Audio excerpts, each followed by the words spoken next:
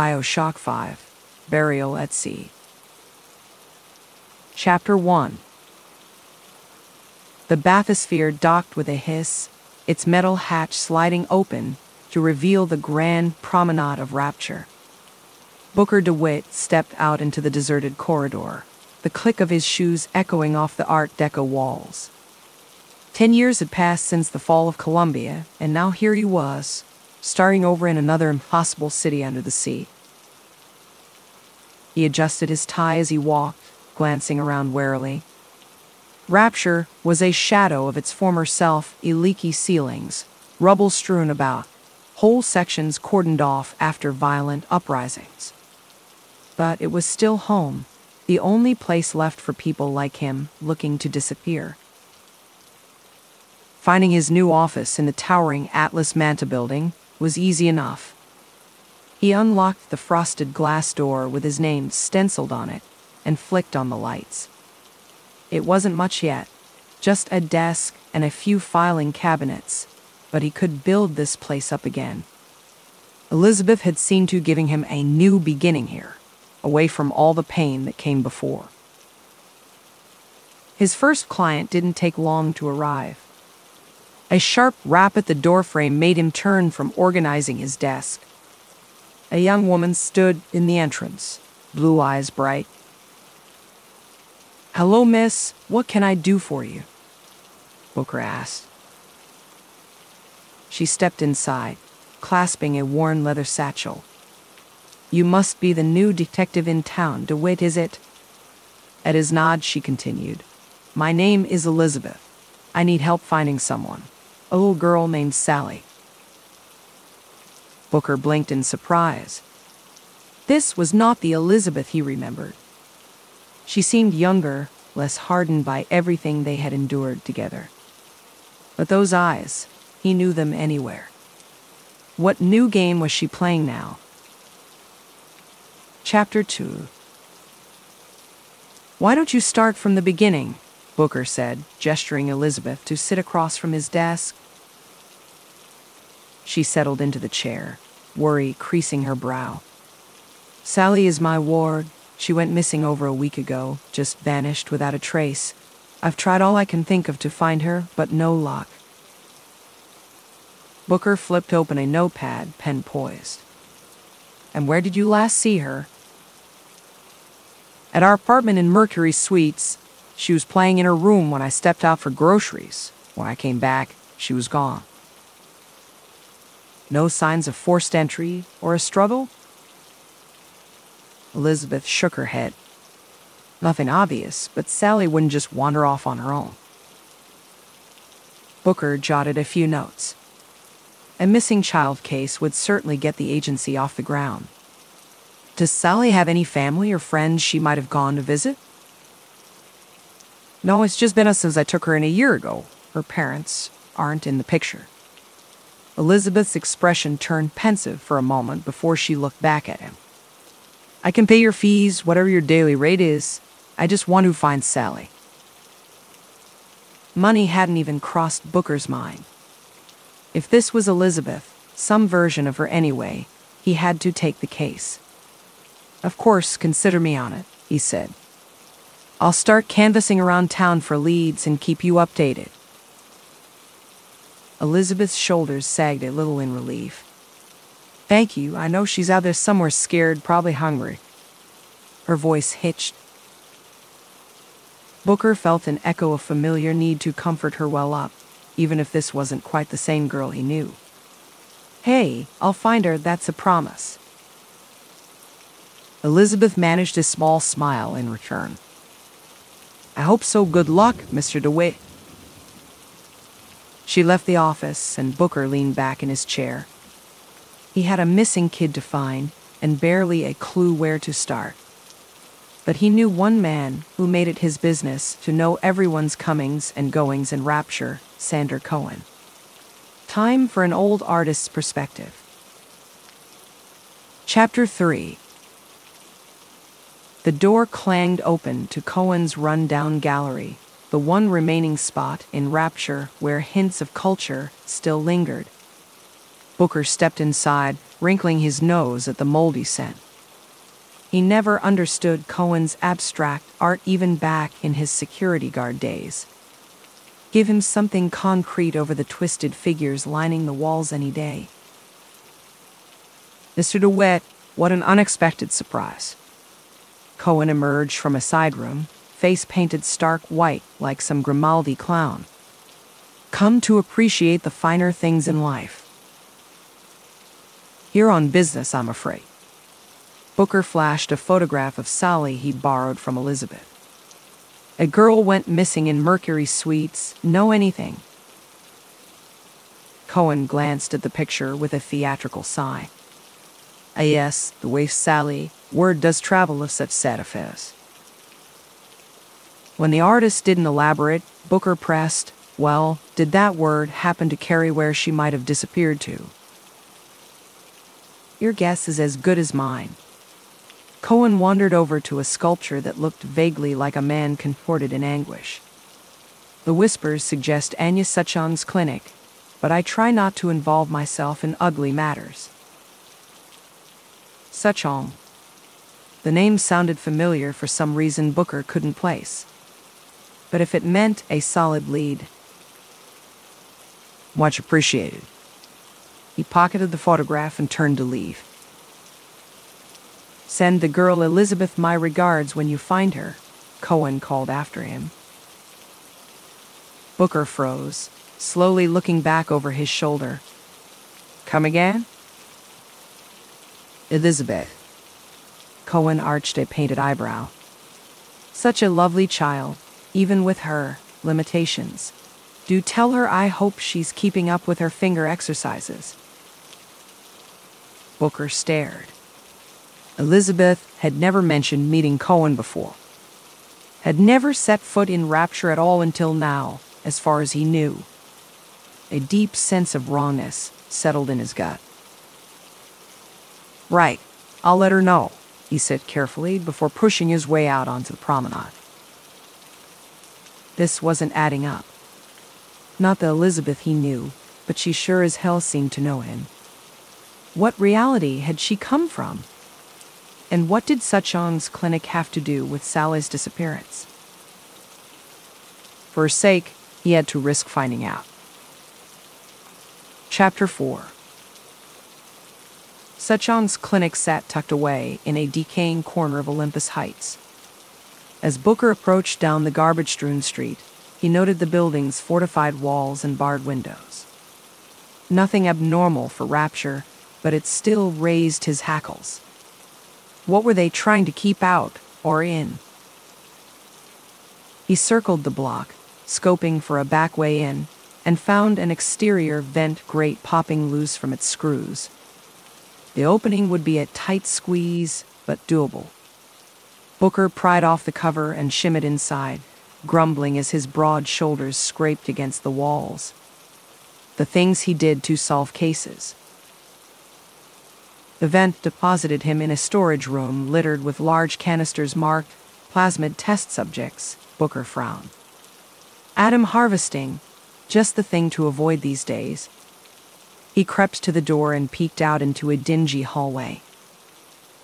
A nearby room buzzed with conversation. Trials show the new little sister models can absorb at double the ADAM, Doctor. Excellent. Prepare more for prototype implantation. A pause. And have subject 2 prepped again. I wish to observe her indicated memory regression when the Big Daddy bonding process repeats. Booker's jaw tightened. He didn't know what any of that meant, but it sounded sinister as hell. Records from Byron G. Suchong's clinic trials weren't on file for being humane.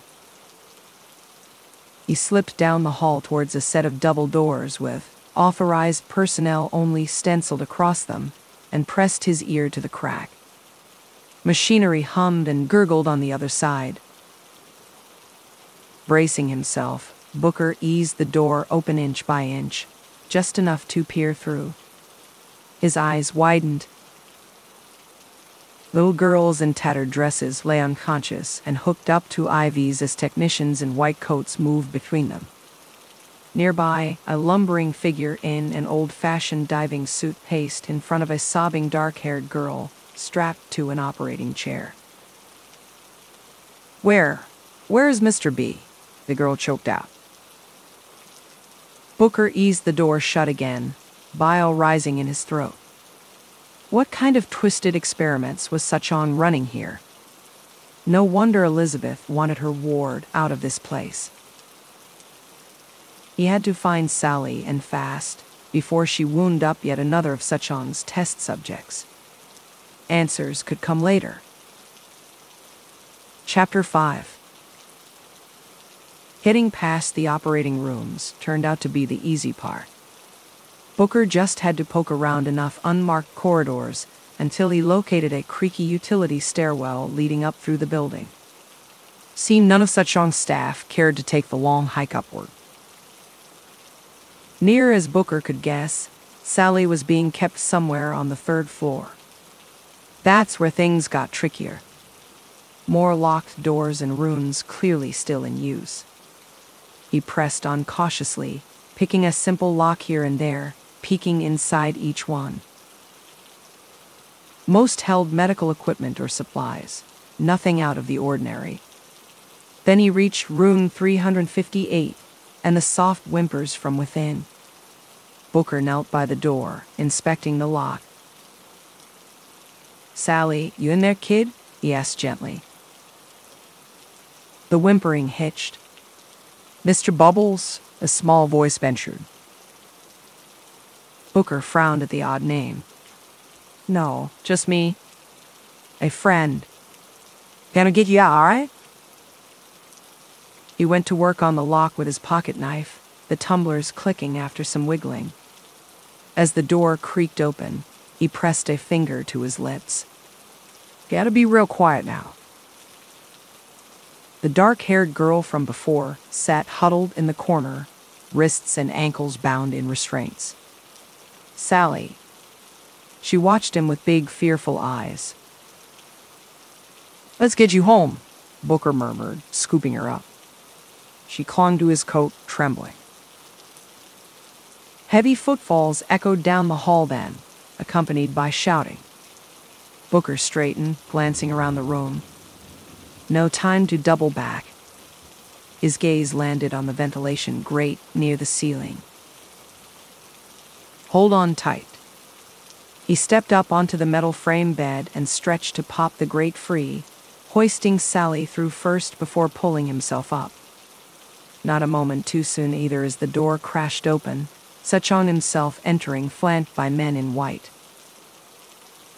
Sally whimpered at the sight of them. Booker shushed her gently as he fixed the grate back into place. Check the ward, Suchong snapped. The asset could not have gone far. Asset. Booker bristled at how casually Suchong dehumanized these girls. He shuffled further into the vent, keeping a protective hold on Sally. They just had to keep moving. Get back to Elizabeth. Sort this whole mess out later. For now, it was enough that Sally was safe. Chapter 6 The vent took some twisting and turning before Booker located a way out on the first floor. He paused at the grate, listening. No sounds of pursuit so far. I'm going to lower you down first, all right? Then it's just a quick walk outside, he said. Sally nodded, scrubbing at her red rimmed eyes with a sniffle. Booker eased the grate off and set the girl down before dropping out of the vent himself. So far, so good. They just had to play it cool and slip right out the front door. He ushered Sally down the hall only to stop short. Two men blocked the exit, faces obscured by diver helmets. Well, ain't you two a sight? came a voice behind them. Booker turned to see a lanky man in a sweater vest approach, twirling a golf club. He smiled, but it didn't reach his cold eyes. Elizabeth stood at his side, refusal in the tight line of her mouth, even as she avoided Booker's gaze. Sorry about the confusion, the lanky man continued. You got my friend Elizabeth worried sick? Kid, why don't you wait outside while the grown ups talk for a spell? Sally hesitated until Elizabeth gave her a gentle nudge forward. The girl cast a last look between them before scurrying out. The lanky man watched her go, tapping his golf club against one palm.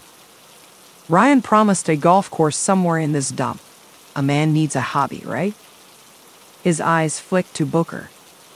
The name's Atlas. The name triggered Booker's memory. Atlas, the man who started Rapture's uprising. Which meant, wherever this version of Elizabeth came from, she was playing a dangerous game. Booker crossed his arms. I've heard of you. Can't say I've heard much good. Atlas chuckled without humor. We've all done what we must to get by in this place. He glanced at Elizabeth. Though your lady friend here puzzles me, gets a bee in her bonnet over finding this girl, then won't even say where she sprang from. Elizabeth's expression remained tight lipped. Booker got the sense this uneasy alliance was her idea, though why that meant working with the likes of Atlas. Point is, you lost my ward. I hired Mr. DeWitt to recover her. Elizabeth finally looked at Booker, something unspoken passing between them. Thank you, truly. Atlas waved the pleasantries aside. I scratch your back, you scratch mine. We can help each other, you and I. His gaze pinned on Booker. But friends close, enemies closer. Watch your step. It wasn't a request. Booker tensed, ready to fight his way out if needed. But Elizabeth's eyes pleaded patience. With a slow exhale, he relented for now. Sally was safe. That was enough. They could figure the rest out later. Chapter 7 Booker wasn't foolish enough to lead Atlas back to his office. Better to lose any tails first. He led Elizabeth and Sally through a meandering path around Point Prometheus doubling back until he was reasonably sure no one followed them anymore. Only then did he usher them into the Atlas Manta building and up to his agency floor. Inside his office, Booker flipped the sign to closed and locked the door. We should be safe to talk here, he said, checking the windows. Curtains drawn, door secure. He turned back to Elizabeth. I think you owe me an explanation. She worried a loose thread on her blouse, not meeting his eyes. It's complicated. I'm not even sure where to begin. Booker leaned against his desk, arms folded. How about with where you really came from? Elizabeth sighed, sinking into a chair. Sally perched on her lap, still subdued. You're right. I'm not the Elizabeth you knew, she admitted. I'm from another reality, one where I failed to save Sally from Suchong's experiments. Her expression grew pained. She was turned into a little sister. By the time I got to her, it was too late. Booker scowled. Other realities, other versions of Elizabeth. Would he ever understand it? So coming here was for a second chance. Yes, when I found a version of Rapture where Sally still lived with her parents, I had to try and change things. Her arms tightened around the girl. I can give her a better life here. It made sense in its own tragic way, though one piece still puzzled him. And Atlas, where does he fit in? Before Elizabeth could respond, a muffled boom sounded from the hallway outside. Booker tensed. Had they been followed after all? He crossed to the door, peering out the eyehole just as white smoke billowed under the frame. Knockout gas. He reeled back, clapping a hand over his mouth. Get down. but it was too late. The room spun as the cloying fumes sucked the air from his lungs. Through the haze, he saw Elizabeth slump forward, Sally spilling from her grip. Then his legs gave out and everything went dark. Chapter 8 Consciousness returned in phases. A throbbing headache, the cold press of concrete against his cheek. Booker groaned and rolled onto his back, prying his gummy eyes open. An exposed bulb swung overhead, the only light in, wherever the hell he was. It looked like some kind of warehouse basement, rusted pipes running along the walls. He sat up slowly, bracing against a wave of dizziness. It must have hauled him here after gassing the office. But where was Elizabeth? Booker called hoarsely. His voice echoed back unanswered. She and Sally were gone. He staggered to his feet, ribs aching in protest. Atlas's work, no doubt. Question was if the girls were captives too or somehow in on this betrayal. Either way, he had to find them fast. Footsteps sounded outside the room then, voices growing louder. No time to concoct a clever escape plan. Booker eyed the door, then a nearby air vent. He pried off the grate and hauled himself up just as the door opened. Two of Atlas's men strode in, pausing at the side of the empty room. Booker held his breath, praying they wouldn't look up. Luck stayed on his side for once. With a shrug, the two thugs headed back out, locking the door behind them.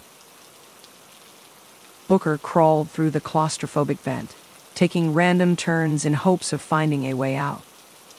These old maintenance routes all connected somewhere. He just had to keep moving. Sure enough, after one last squeeze past cobwebbed piping, he reached another vent cover. Bracing his back against the opposite wall, Booker kicked it free and slid out into open air. The vent had led him outside, dumping him out on a rusty fire escape landing.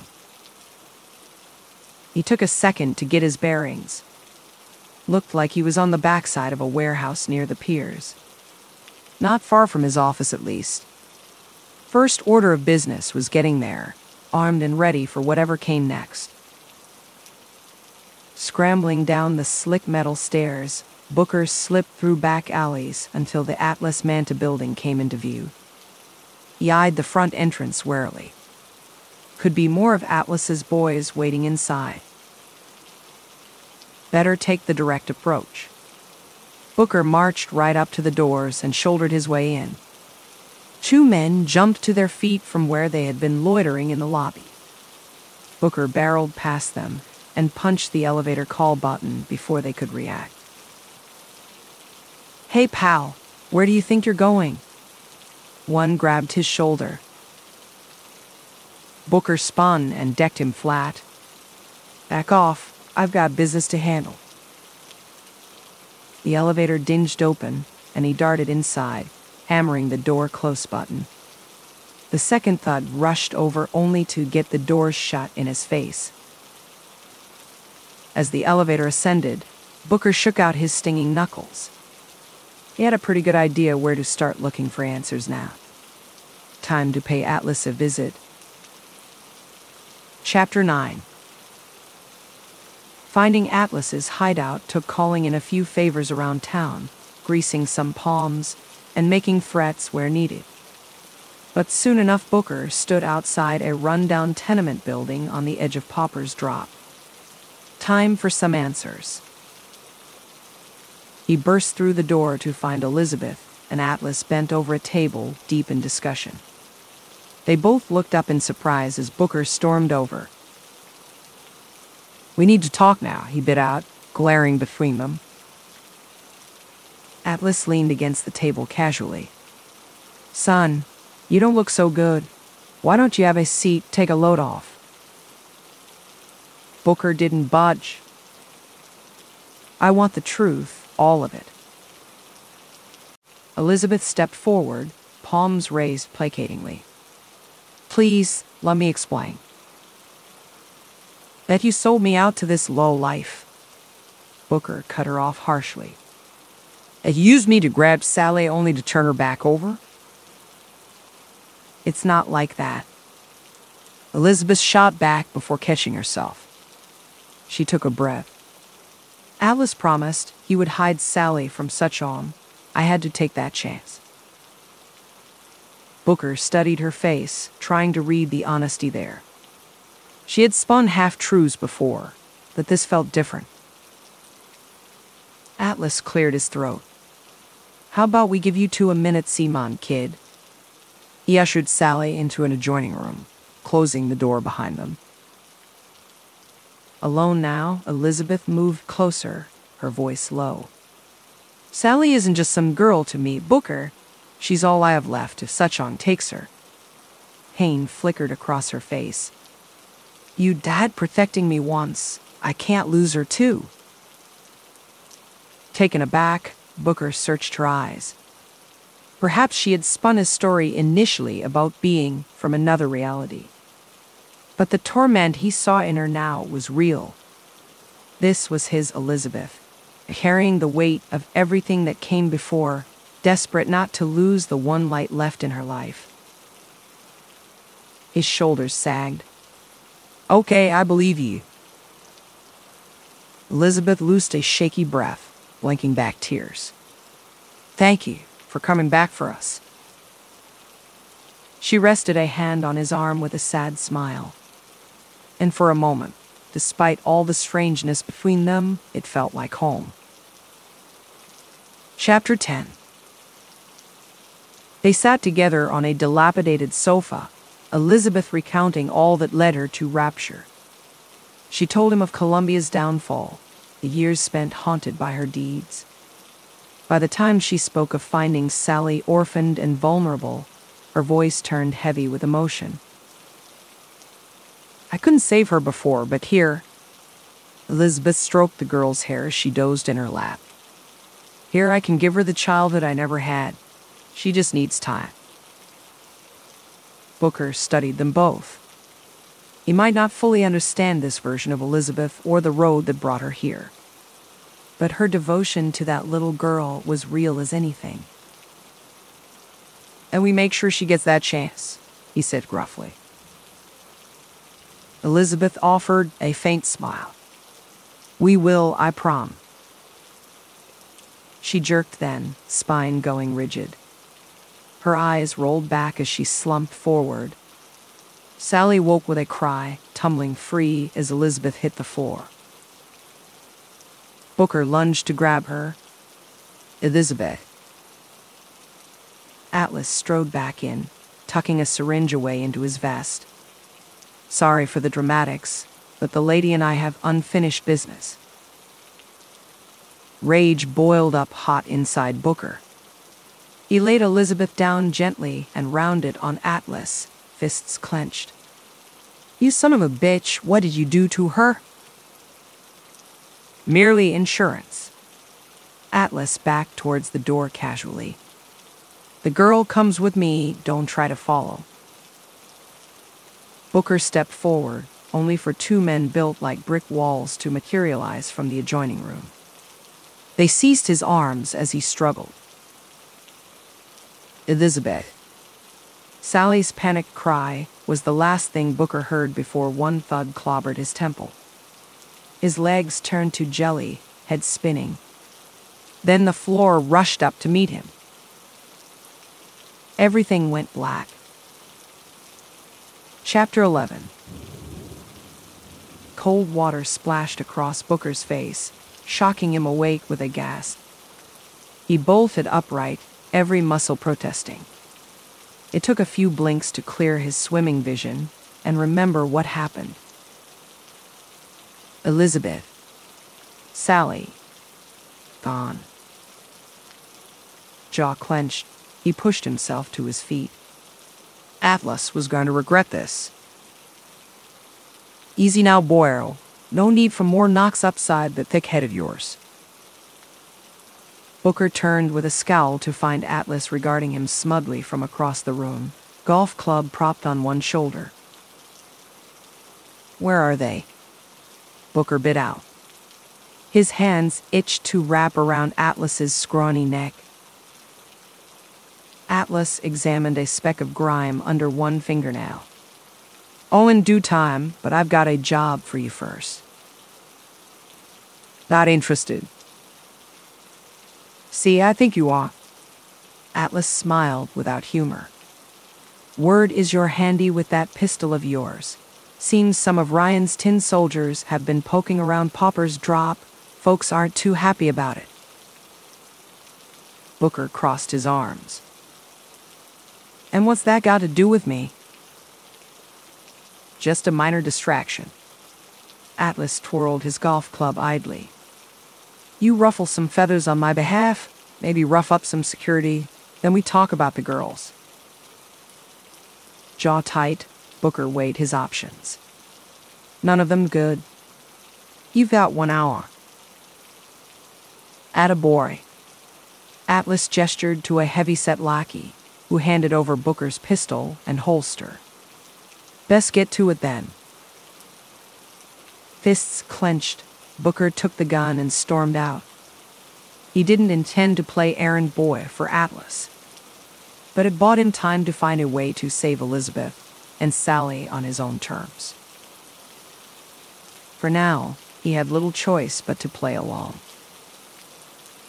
Chapter 12 Booker strode through the dank halls of Pauper's Drop, ignoring the wary looks cast his way. He had no quarrel with these people, but Atlas would pay soon enough. He passed a grimy window looking out on Fontaine's department store. The once extravagant shop was abandoned now, like so much else in Rapture. An idea struck Booker then. If Atlas had stashed Elizabeth and Sally somewhere, maybe he was arrogant enough to keep them close. That store could hold secrets. Ducking down an alley, Booker located a maintenance door and jimmied it open. Inside, he grabbed a dusty sweater off a supply shelf and pulled it on to further disguise himself. Wouldn't do to have Atlas's men reporting his presence. Ascending the stockroom stairs, Booker slipped out onto the main sales floor. Faded posters clung to the walls, while broken display cases and mannequins lay scattered about. Looked like looters had swept through at some point. He made his way through the detritus towards a grand central staircase. Peeling gold letters on the wall pointed to offices up on the top floor. Booker climbed upward, senses alert. Could be trouble waiting around any shadowy corner. But the place seemed abandoned, his footsteps the only sound. At the top, he moved down an oak paneled hall until locating a door labeled Manager. The lock clicked open easy enough at the twist of his knife. Booker stepped inside what looked to have been Fontaine's own office once. If Atlas was using this place, maybe he had been careless enough to leave something behind. Booker rifled through the heavy wooden desk, nothing but old receipts and cigars. He turned his attention to the shelves next. That's when he noticed it a faint rectangle of lighter paint on the wall where a hanging photo once covered. A hidden safe, perhaps. Booker pressed along the edges until he found the latch. The door creaked open to reveal a recording device inside. Worth a listen at least. He hit play, and a familiar voice filled the office. Another day, another dollar. Chapter 13 Booker's eyes widened as he snatched up the recording and pressed rewind. Frank Fontaine's voice carried unmistakable scorn and contempt even from the grave. He hit play again, listening closer. Another day, another dollar swindled from those Rockefellers. Fontaine gave a contemptuous chuckle. Oh, well, Ryan thinks he's so high and mighty down here, but it takes men like me to build cities, and I'll be running this one soon enough. The tape clicked and whirred on through what sounded like candid recordings of Fontaine's shady business dealings and future plots. Incriminating stuff and a gold mine of leverage for whoever held these tapes now. Booker's thoughts turned back to Elizabeth's alliance with Atlas. She was too sharp not to realize the snake he was, unless she had little choice. He flipped the tape over. Fontaine's smug tone filled the office again. Just got word my ace in the hole arrived in town. A little bird told me she can be real persuasive, and once she gets me those codes from Suchong. Booker's blood ran cold. He knew who Fontaine meant before the name even left the creep's lips. Elizabeth can't squeeze anyone for what they're worth, my kind of gal. Fontaine chuckled darkly. Suchong will play ball if he knows what's good for him. The recording clicked off, leaving Booker shaken. Using Elizabeth's talents for his own gain sounded exactly like something Atlas would try. But how had she fallen in with criminals like them in the first place? There had to be more tapes, more of the story here. Booker scoured the office until he uncovered a locked drawer beneath the desk. One quick Jimmy later and a full box of recordings sat in his hands. The truth was here. He just had to keep listening. Chapter 14 The tapes led Booker down an unsettling path. In fragmented bits and pieces, Elizabeth's story came together. How she watched Sally become a little sister, consumed by guilt. How in her grief, she turned all her rage on Comstock and destroyed the possibility of his existence. But with her purpose fulfilled, Elizabeth only felt empty, haunted by her failure to save Sally. Until one day she discovered a tear to a rapture where Sally still lived a normal life. Unable to resist, Elizabeth took the chance to reach her. Only when she arrived, Elizabeth learned Fontaine had already sunk his claws into the girl, grooming her for experiments to profit off ADAM. Elizabeth blamed herself. If she had gotten here sooner, she could have prevented it all. That guilt drove her to strike a deal with Fontaine, using her powers to get leverage over Suchong. It was never about greed or malice. Just a mission to save one life when she couldn't before, no matter the cost. Booker sat back heavily, trying to process it all. He understood that pain, the need for redemption all too well. But Elizabeth was slipping down a dangerous path with Atlas. One he couldn't let her walk alone any longer. Tucking the tapes away, Booker headed out with renewed purpose. The other recordings could wait. Right now, Elizabeth needed him. And he sure as hell wasn't losing her again. Chapter 15 Booker made his way through the dilapidated department store, Elizabeth's story weighing heavy on his mind. He descended a rusted metal staircase down into the building's sub-basements. If Elizabeth was here, it would be in the forgotten places Atlas preferred. He passed old stock rooms, maintenance tunnels, even a cold storage locker, peeking inside each one. No signs of life yet, but he had to be getting close. The final door he tried groaned open to reveal a large utility bay. And sure enough, a familiar figure sat slumped against the far wall Elizabeth. Booker rushed over, but pulled up short at seeing her vacant, red rimmed eyes. Almost like she was in some kind of trance. Elizabeth, can you hear me? He grasped her shoulders gently. No response. Come on, I need you to snap out of this. He gave her a light shake. Finally, she stirred, gaze focusing on him in confusion. Booker? Her voice came out hoarse. There you are. Relief washed through him. What happened? Where's Sally? Elizabeth slowly pushed herself up, leaning against the wall for support. I, I don't know Atlas drugged me when I woke up. She was just gone. Booker clenched his jaw. Whatever Atlas wanted with that girl, they were running out of time to find her. Any idea where he could have taken her? Rubbing her temples, Elizabeth tried to piece together fractured memories. There's a hidden room somewhere down here. I remember stumbling inside once when I was working with Atlas. She grimaced. We have to find it. Booker helped her to stand. Then that's our next stop. Lead the way. They moved through the labyrinth of basements, Booker supporting Elizabeth when her legs wobbled. He could only imagine what Atlas had pumped her full of to keep her compliant. Anger simmered in his gut. Soon Elizabeth stopped short, staring at a nondescript section of brick wall. Here, there has to be a way in. Booker ran his hands along the cold mortar until he found it, a loose block that triggered a mechanism. With a rumble, the wall slid open. Torchlight flickered ahead. Elizabeth tensed. Please, let us find her. Booker gave a solemn nod. We will. Chapter 16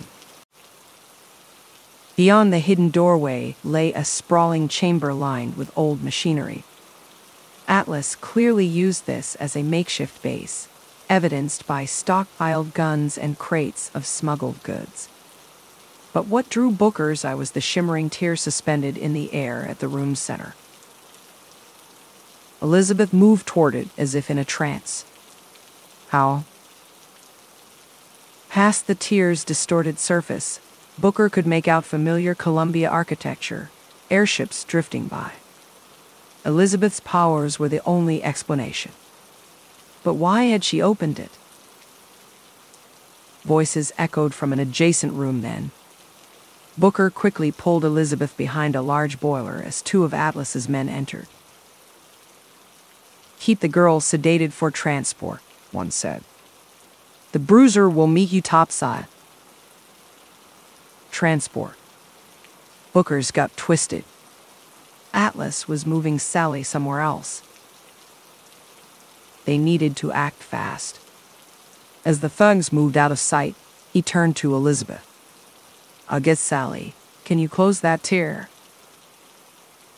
She nodded firmly, a spark of determination returning to her eyes. Equeg. Booker slipped across the chamber tracking the men's voices. He crept through a doorway and down a hall to an old office where a tiny figure lay bound upon a cot. Sally. In one smooth motion, Booker took down the guards and swept the drowsy girl into his arms. Let's get you home, he whispered. Sally clung to him as he hastened back. By the time he returned, Elizabeth stood alone before the closed tier. Booker stared. What made you open that before? Elizabeth avoided his gaze, shame creeping into her voice. I thought we could hide there for my mistakes. Hey.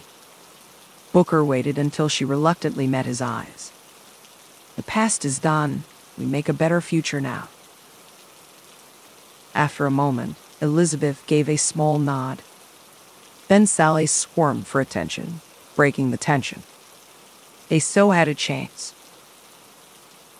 Chapter 17 Back at Booker's office, he secured the door while Elizabeth tended to a groggy Sally. The girl had endured a harrowing ordeal, but seemed relatively unharmed. Atlas had yet to inflict the full damage plan. Elizabeth smoothed Sally's hair back gently. I'm so sorry you went through that. Her voice hitched. But I promise you'll never be hurt again. Sally blinked up at her with those trusting eyes that wrenched Elizabeth's heart. We go home now. Home.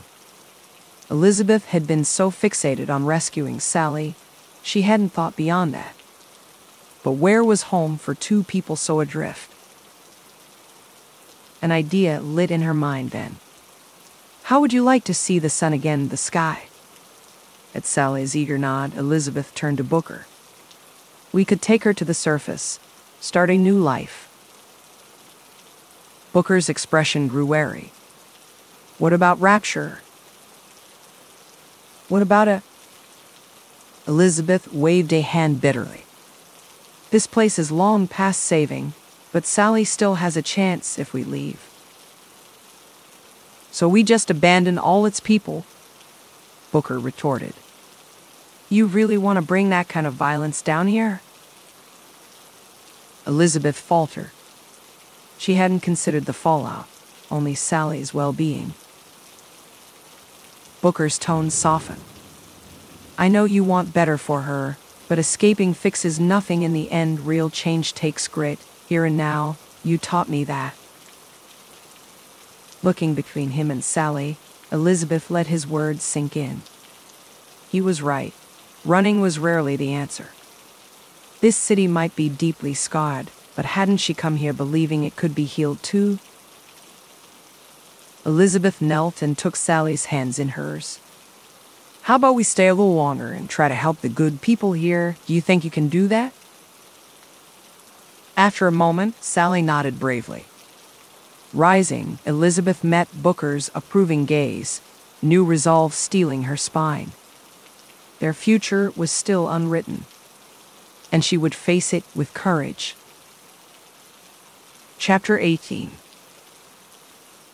Booker ushered them out of the office and through the grimy streets, vigilant for any sign of Atlas's men. The longer they stayed in rapture, the more danger closing in around them. But Elizabeth was adamant about not giving up yet.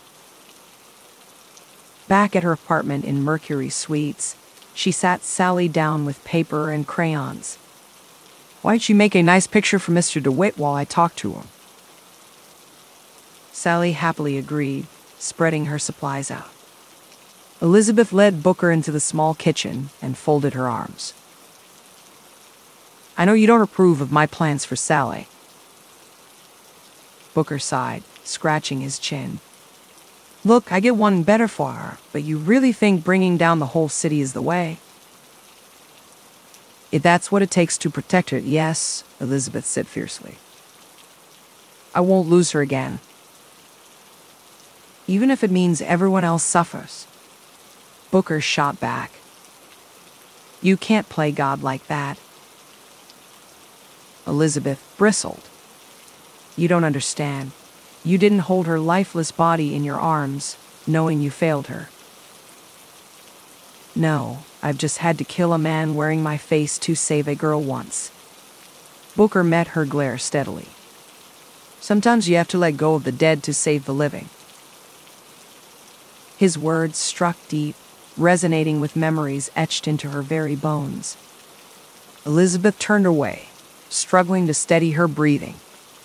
Maybe she didn't have the right to sacrifice rapture for Sally. But how could she walk away when the girl had no one else? From the next room, Sally's giggles carried as she played. Elizabeth closed her eyes, grasping for the right path in a universe where nothing was truly black and white. Booker gently touched her shoulder. How about we take it one day at a time, see where it leads? Looking up at him, Elizabeth managed a small nod. For now, it was enough. Chapter 19 They settled into an uneasy waiting game after that. Booker pulled what strings he could to keep Atlas off their trail, while Elizabeth cared for Sally. But the girl grew more withdrawn by the day, the spark fading from her eyes. She'd been through much for one so young then one night, Elizabeth awoke to sobs coming from Sally's room. She rushed in to find the bed empty, sheets tossed aside. Sally was gone. No, no. Heart in her throat, Elizabeth flew through the rooms, checking every corner. No sign of the girl. She turned to Booker with rising panic. She ran off. You have to help me find her. Booker quickly donned his coat and hat. Stay here in case she comes back. I'll search the area. Nodding numbly, Elizabeth sank down on the couch to wait as he hurried out. How long had Sally been planning this escape? Had Elizabeth's smothering attention become stifling? Guilt threatened to swallow her until she forced it back. Sally needed her focus right now. The hours passed at an agonizing crawl. When Booker finally returned empty handed, Elizabeth was nearly crawling out of her skin with worry. His expression was grim. Trail went cold at Fontaine's, places like a damn maze. He hesitated. We'll keep looking, but. Elizabeth's throat constricted around all the promises she longed to cry out that she would find Sally, keep her safe here. But the words dried up, giving way to sobs. Sally was lost, and she had only herself to blame. Booker's strong arms wrapped around her as she broke down. They stayed that way through the long night, hope fraying to a mere thread. Wherever Sally was, they had to believe she would hold on until dawn. Chapter 20 Morning light found them back at Fontaine's, picking through every inch of the dilapidated department store. Behind dusty cabinets, squeezed into ventilation shafts, they left no corner unsearched in pursuit of Sally. After hours of fruitless effort, Elizabeth sagged against the wall, fighting tears. Each minute that passed made the odds of finding Sally unharmed slimmer. She couldn't stomach the thought of Atlas getting his claws on the girl again. Booker paused his inspection of empty display cases. She has to be hiding here somewhere. We'll check the sub basements next, retrace every step. His jaw took on a determined set. I'm not leaving her to that monster. Elizabeth managed a wavering nod. Sally was a resilient little thing when she wanted to be, and easy to overlook when scared. Their only hope was flushing her out, showing she had nothing left to fear. They descended the rickety stairs down into the bowels of the building. As they scoured the dusty rooms, Elizabeth called Sally's name softly, promising safety and comfort if she just came out. No response yet, but she had to be nearby. Elizabeth could almost sense it. That's when she heard the faint scuff of a small shoe on concrete. Whirling, she spotted a tiny shadow dart across the hall and through a doorway. This way. Elizabeth took off running, Booker close behind her. They followed the signs of passage, drag marks and dust, a tiny handprint smeared on a pipe, leading them into the boiler room depths. Sally had come this way. The chase was on now. Chapter 21 Elizabeth could hear the patter of Sally's footsteps ahead as she wove through the maze of tunnels with Booker. They were gaining on her at last. But just when Elizabeth thought they had her cornered in the boiler room, Sally scrambled up into the ventilation system. No, wait. Elizabeth cried, but the girl had already disappeared inside. Booker was already shoving a crate under the open vent. I'll go after her, wait topside in case she circles back. Before Elizabeth could argue, he hoisted himself up into the tight metal shaft. Reluctantly, she returned to the main floor, pacing as the minutes stretched by. What was taking so long? Just when Elizabeth resolved to head back down, a blood curdling scream shattered the silence. No. Elizabeth flew through the basements, her pulse roaring. Bursting into the boiler room, she found Booker crumpled at the foot of the vent, a dark stain spreading across his shirt. Booker! She fell to her knees beside him, frantically pressing on the bullet wound. But his eyes had already taken on a distant glaze. Well, isn't this poetic? Atlas emerged from the shadows, pistol in hand. Ain't nothing to do now but wait for the circle to close. Elizabeth scarcely heard him, clutching Booker tighter as his body cooled. Sally Booker, everyone she tried to protect, ultimately suffered. Perhaps she was simply cursed to destroy all she touched.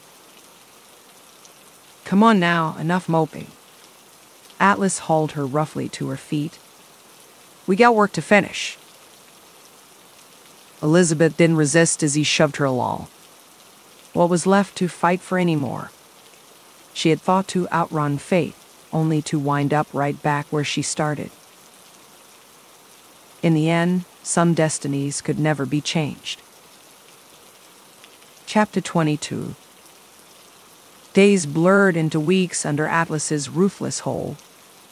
Elizabeth endured his experiments blankly, too hollowed out now to resist. This was merely the inevitability of her fate catching up at last. She thought of Booker often, regret piercing through the haze. He had believed in creating a better future, but that noble dream died with him in the depths. Elizabeth wasn't sure how much time passed before Atlas barged into the locked medical room she was confined to. His eyes held that wild, zealous light that signified violent plans brewing. It's time, kid. We're tacking Ryan out tonight. He tossed her a heavy sweater and jeans. You're with me when I send the old geezer to his grave. Elizabeth wordlessly shed the thin medical gown and dressed. What did Ryan's demise matter now? She was too far gone to be saved, but perhaps she could still grant the true innocents here a chance to survive before Rapture collapsed. Atlas marched her through Point Prometheus at gunpoint. They took a bathysphere down to Rapture Central Control, Atlas muttering about revolution and comeuppance. Elizabeth drifted through it numbly, only when the doors slid open to reveal Ryan's office did some flicker of emotion pierce her stupor. Well, if it isn't the prodigal daughter. Ryan sat at his desk, regarding her calmly. Have you come to slay your father again? Elizabeth shook her head dully. That pitiful obsession had already destroyed her once and launched her on this tragic trajectory. Never again. When Atlas shot her a glare, she silently moved forward and wrapped her hands around Ryan's neck. As his protests gurgled out, she met his bulging eyes. This cycle ends here. With one decisive snap, Elizabeth ended Ryan's tyranny and the ideology poisoning her soul. Then she turned to face her own fate. The end.